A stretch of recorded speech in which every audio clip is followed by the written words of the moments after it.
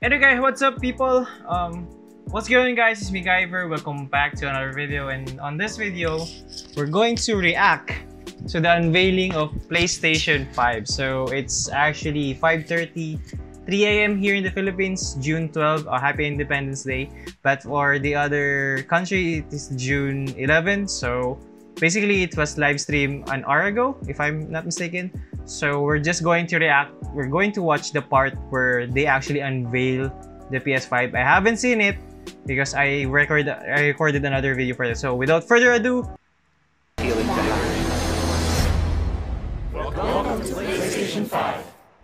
this come a long way, guys. This come a long way.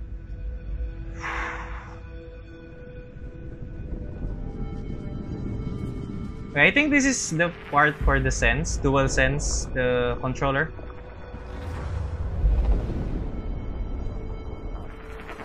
Oh boy. Oh boy.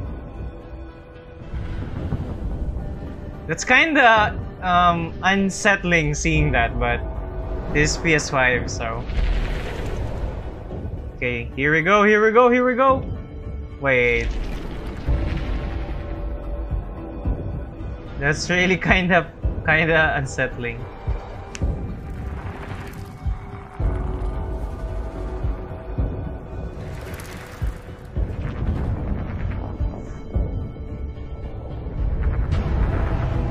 Okay, so the build up is good.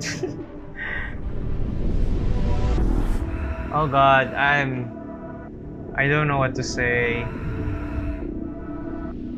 Okay. Oh, very nice transition. Oh, I thought it's like I thought it's kind of like you know stage unveiling, but wow, wow, that's so slick and sexy. But oh boy, that's gorgeous. Okay, it has USB-C. I think that's USB-C. Oh, they, they powder coated. So we will be getting a powder coated um, PS5. Unlike PS4 that we got the powder coated one around second gen. You know, it's... God damn. I hope they will place the price.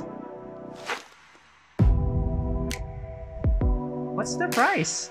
Oh, okay. I think there's no pricing point at this time. But that looks good. Okay, we have more, apparently.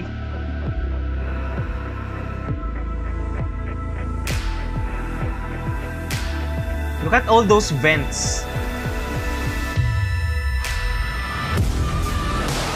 Whoa, there's a slim? Oh, wow. Okay, um, let's rewind a little bit.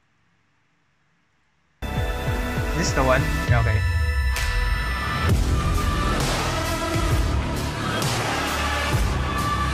I'm very sorry guys if I'm going to cut you guys off, but as I'm so shocked to see this. Okay, so the first one is so sexy. Oh, Never mind, I'm going to watch it.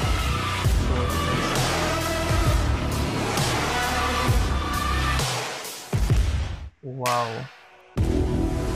Wireless, but still need... Will it be free? That's the question. I don't think it will be. Oh wait, they have the camera also. Media remote? Are we sensing some Xbox vibes here?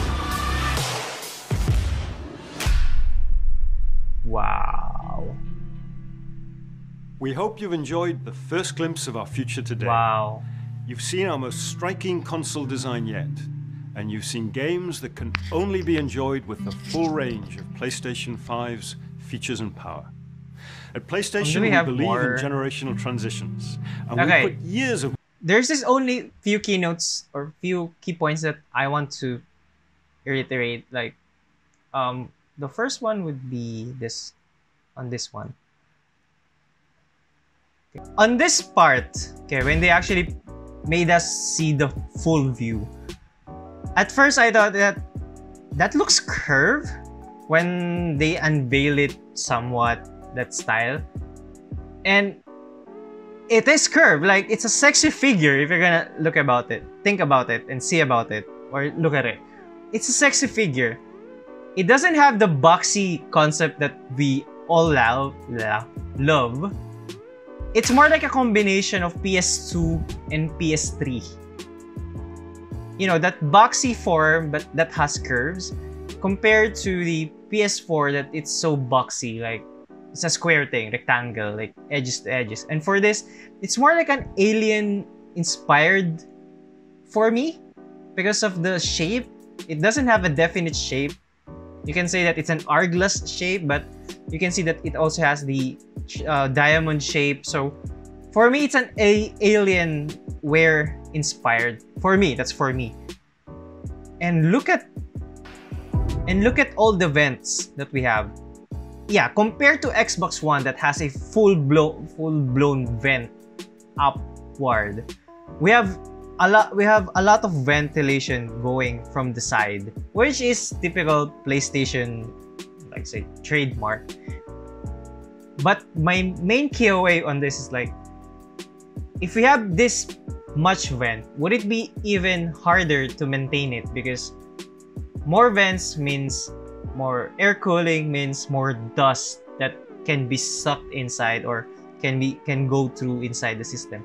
So we actually don't know if they have some sort of newer filtration that they did to filter those dirt. So I'm excited to see how it will work on the real life because PS4 collects dust so much compared to other consoles. So that's my main takeaway. But in terms of cooling, I don't think that we will be hearing loud noises compared to the last generation. Maybe because it still has the Blu-ray slot or disc drive, so ah, I'm so excited. But the thing is, they haven't unveiled the price. Um, last note would be this one here. So we can see that there's two version of PS4. I thought this will be like one terabyte version or pro version but it's not. It's a digital version, meaning that all your games will be downloaded in the internet. You won't be having the need to buy physical game copies and insert it to the mouth of the PS5. But the takeaway on that is basically don't own it. You don't own any game because you know owning a game with in a physical form factor is quite satisfying than on a digital one, but it might be on the pers- personal preference level. But for me, I'd rather have the one that has the disk drive rather than the digital one because you can still download digital games in my opinion even though you have the base base model of PS5 which is the with the one with the digital um, drive. But my main concern is did they design the PS5 on a digital edition first?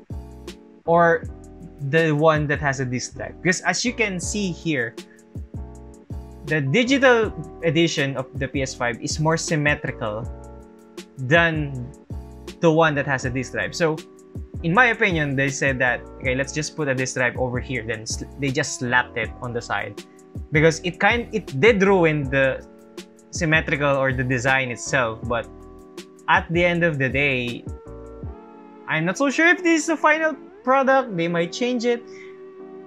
I- I'm not so sure. Maybe this is the final one, but I do think that they designed it for a digital edition perspective first, then moving towards the one that has a digital, uh, that has the disk drive. So either way, I hope that there will be a price difference on this. Maybe the digital edition is cheaper and the the one that has a disk drive is a little bit expensive but I hope there will be a price difference because as I can see you'll be removing a part on the digital version which should reduce the cost. So yeah um final thoughts. I'm excited for the PS5 um I'm not so sure if I'm going to buy it this year when it when it released. Maybe the next year because I always wait for generation 2 because we all know for a fact that Generation 1 always have problems, but I hope this Generation 1 of PS5 won't have that much. And I just noticed something. Um, the button over here is the eject button for the disc. So because as you can see, this might be the signal one and this might be the eject one because on the digital edition there isn't another like button there. So yeah, um, anyway, guys, I hope you enjoyed this video. And if you do, press thumbs up and consider subscribing for more reaction videos like this. And you can watch my latest reaction video from Twice over here. And I hope to see you guys next time. This is me, Gyverr, signing out. Peace.